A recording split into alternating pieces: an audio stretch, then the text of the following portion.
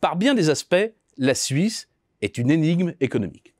Voilà un pays dénué de matières premières, enclavé sans accès maritime, doté d'une monnaie forte, caractérisé par le coût de sa main-d'œuvre parmi les plus élevés au monde, qui parvient à maintenir une base productive d'une puissance et d'une compétitivité exceptionnelles.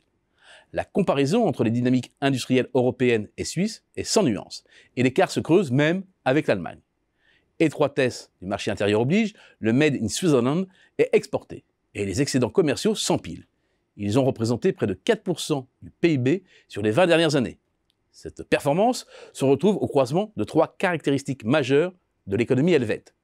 La Suisse dégage d'abord une productivité par tête nettement plus élevée que dans la zone euro, et elle progresse davantage. Cette plus grande efficacité au travail des travailleurs renvoie aussi bien à une main-d'œuvre hautement qualifiée, en liaison avec un système éducatif performant, qu'aux efforts d'innovation et de modernisation des entreprises. L'effort en RD est plus intense que celui fourni par les pays de l'OCDE, et le nombre de brevets par habitant près de 7 fois plus élevé par rapport à l'Union européenne. Le haut niveau de la productivité suisse porte aussi la marque de la spécialisation sectorielle du pays, deuxième socle du succès. En matière industrielle, c'est une hyper-spécialisation sur des secteurs à forte intensité capitalistique. La chimie-pharmacie, avec de grands groupes comme Novartis ou Roche, la mécanique de précision, d'optique et les équipements électriques, l'horlogerie, bijouterie, joaillerie, les machines-outils, la métallurgie et enfin les IA avec en tête de proue Nestlé.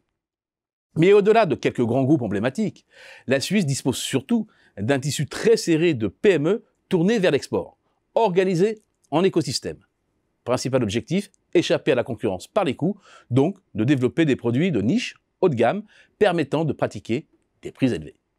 Cette stratégie offre en outre l'avantage de faciliter les transferts de compétences et de savoir-faire entre les entreprises, tout en renforçant l'attractivité pour les salariés qualifiés grâce à des opportunités professionnelles abondantes. À côté de l'industrie, c'est aussi un pôle financier hors norme. Il génère directement 9,4% du PIB du pays et emploie 4,4% de la main-d'œuvre, plus en comptant les effets indirects. C'est le double par rapport à la zone euro. Outre son poids économique, le secteur financier contribue grandement aux finances publiques. Les impôts prélevés par la Confédération, les cantons et les communes, liés directement ou indirectement aux activités financières, ont ainsi représenté plus de 13% des recettes fiscales totales de la Suisse en 2021. Des recettes qui permettent de financer les infrastructures, le système éducatif, la recherche, etc.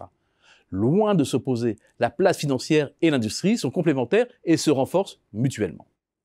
La Suisse, c'est une rente financière peut-être indue, mais parfaitement utilisée pour bâtir des véritables avantages compétitifs. Il faut enfin évoquer l'équilibre un peu étrange entre fiscalité et protectionnisme.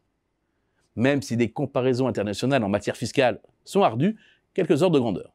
Le taux d'imposition sur les sociétés est légèrement inférieur à 15%, tandis que le taux normal de TVA se situe à 7,7%, des niveaux bien en deçà de ceux pratiqués par les principaux pays européens. De plus, le taux d'imposition sur les personnes physiques figure parmi les plus bas d'Europe. À quoi s'ajoute la mise en place de barrières commerciales en faveur de l'industrie et de l'agriculture. La Suisse ne saurait être un îlot de prospérité dans une Europe en déclin. Les économies sont trop liées. Il est incontestable qu'à chaque grande crise, le pays résiste mieux et rebondit plus rapidement creusant ainsi l'écart. Une grande part de cette résilience est attribuable à la puissance de son industrie, ce pilier qui continue de soutenir l'économie suisse.